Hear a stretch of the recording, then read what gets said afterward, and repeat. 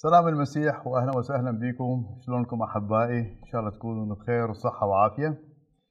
اليوم نريد نتأمل من إنجيل يوحنا والإصحاح 12 والأعداد القليلة اللي موجودة راح نقرأها. اسم الموضوع هو نريد أن نرى يسوع. وكان أناس يونانيون من الذين صعدوا ليسجدوا في العيد. فتقدم هؤلاء إلى فيلبس الذي من بيت صيدا الجليل وسألوه قائلين يا سيد نريد أن نرى يسوع.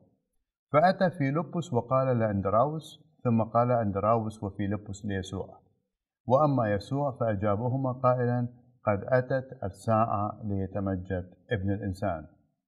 جملة قالها ممثلين للشعب المعروف عنهم بالفلسفة والثقافة والحضارة وهم اليونانيين. نريد أن نرى يسوع.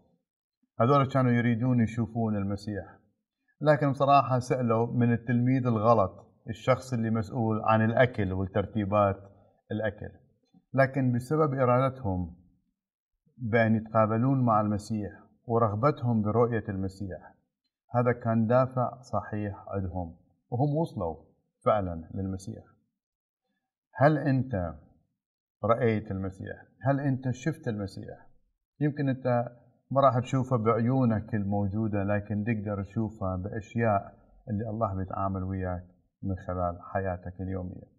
أو أنت بعدك تدور على الحقيقة وين أو بعدك تدور على من هو المسيح. اليوم تعال واسأله. قل له يا رب أريد أريد أشوفك. وهو ما راح يبخل عليك بزيارة خاصة إلك. كون أنت مثل اليونانيين اللي فعلا لحوا ورادوا أن يتقابلوا مع المسيح. والمسيح ما رجعهم فارغين قال لهم تعالوا وتقابل معاهم. وهم كان لهم امتياز وهنيالهم بصراحة بأنهم قعدوا وشافوا المسيح. ادعي هاليوم المسيح إنه يجي يزورك. خلينا نصلي هالصلاة ونطلب فعلا إنه يسوي لنا زيارة خاصة بالأيام هاي في بيوتنا يا رب يسوع إحنا بنشكرك من أجل أنت غير محدود. أنت قادر يا رب أن تظهر لنا يا رب أن نرى يسوع المسيح. وصلي يا رب باسم المسيح أنه تجي يا رب تزورنا في بيوتنا تزورنا في أعمالنا بتزورنا في دراساتنا بتزورنا يا رب فعلا في علاقاتنا ويا الناس. أشكرك لأنك أنت فعلا ما راح تبخل علينا بزيارة من عندك خاصة لكل واحد وواحدة بيطلبوك بثقة وإيمان. باسم المسيح يسوع أصلي. آمين. آمين. الرب يباركك. وافتح باب بيتك.